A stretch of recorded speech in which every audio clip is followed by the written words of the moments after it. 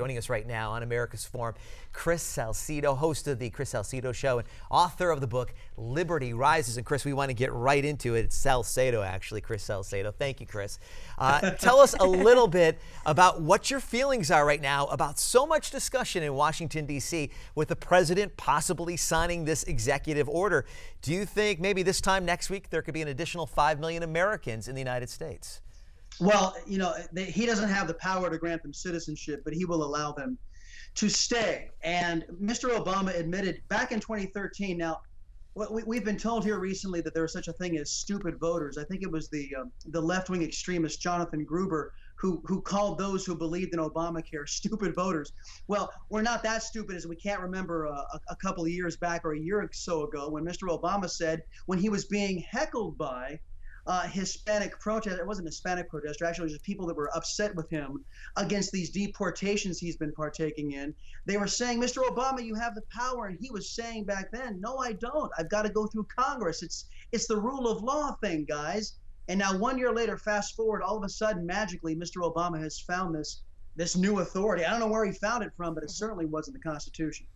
Now, Chris, sources say President Obama will announce a 10 point immigration plan using executive action as early as next week. Part of that plan would include suspending deportations for millions of people. Now, if this goes through, how is it going to impact our country? Well, uh, it will. It will basically it erodes the foundation of the rule of law.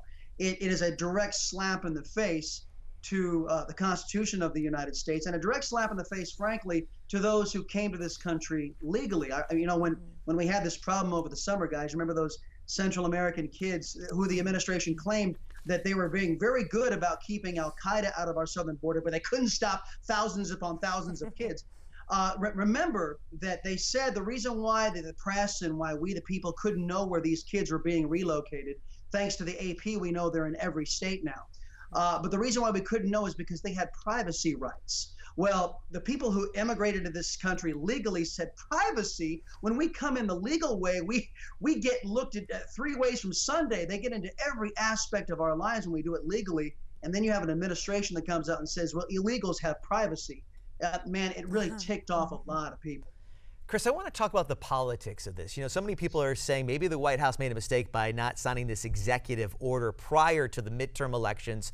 Uh, obviously, the level of Hispanic vote in the state of Florida could possibly have changed the governor's race, also in that Colorado senatorial race. How much of this is politics and maybe the Democrats trying to set themselves up for 2016? Oh, it's all, it's it's all politics. It's all it's all Barack Obama realizing his Democrats don't have to face the voters again on his watch. It's he never has to face the voters again in his watch. It's unconstitutional what he's about to do, but nobody's really going to call him on it. At least uh, that's the indications I'm getting from the Republicans. They might use the power of the purse to to undermine this unconstitutional effort of Barack Obama's. But it, this is don't get me wrong, this is all politics on the, on behalf of Mr. Obama. He wants to use this as a bludgeon to, to basically paint Hispanics uh, or paint a GOP rather as unfriendly to Hispanics. It works if you don't take into what happened this last election cycle in Texas into account, where the GOP there basically provided a template for the entire country with uh, the, the tops of the ticket there winning among Hispanic men. It was it was a very earth shattering event what happened in the great state of Texas. Yeah, it was. Now, Chris, let's talk about the U visas. Now, for people that don't know, this is essentially a visa good for four years that someone who has entered the country illegally can obtain if they are the victim of a violent crime. Now, as we can all imagine, there's been a huge level of abuse of this. Illegals in Charlotte, North Carolina are now faking crimes to stay in the city. Should the administration get rid of this policy, and would it eliminate, shouldn't be a positive step in immigration reform? Well, I think it's a, I think it's a derivative of what you're calling the Wilberforce law, which is people that come into this country, if they're under uh, under persecution from uh, from uh, from other areas, they're able to come into the country and plug themselves into the judicial system. Which uh, and then of course coupled with Mr. Obama's uh, uh, what was it his deferred action against the dreamers, the kids mm-hmm. who were mm-hmm. brought into the country. It just acts as a magnet. So yes, that that definitely needs to be addressed by the Congress, not by Mr. Obama understand what Mr. Obama is doing is he's saying, look, I know what the law is. I'm just going to choose not to enforce that law. Imagine if a Republican had did something, you know, about a Republican pet project. Let's say on tax reform. Let's just say a Republican decides, you know what, I think taxes are too high. I'm going to tell the uh, the IRS not to enforce tax law and not to collect taxes. That would be unconstitutional, which is in essence what what Mr. Obama is doing here on immigration. Chris, you know, there are some on the right that are saying what the president's doing is illegal and that it should be an impeachable offense when it comes to this executive order.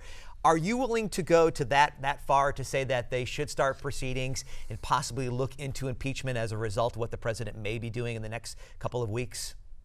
Uh, let me let me put my political hat on. Uh, let me say that Mr. Obama has earned impeachment, not just with this action he's threatening to do, but his past actions as well, his unconstitutional recess appointments. I mean, uh, just on down the line.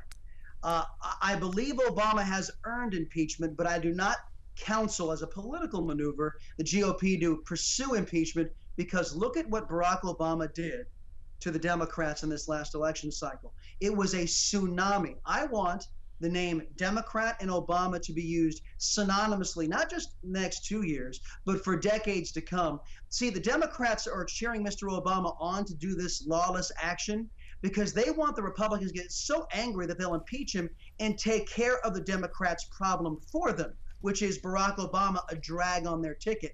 I don't think the Republicans ought to oblige. I think that when you think Democrat from here on out, you ought to think Obama and all the negatives that come with it. All right, Chris, we wrapped up the midterm elections obviously last week, and the American people sent a clear message to the Democratic Party. You say a movement occurred in the Hispanic community that was really overshadowed by the GOP Senate takeover. We saw some positive numbers for the Republicans as far as what happened in those midterms. What was the winning message from the GOP that, that swayed the Latino community?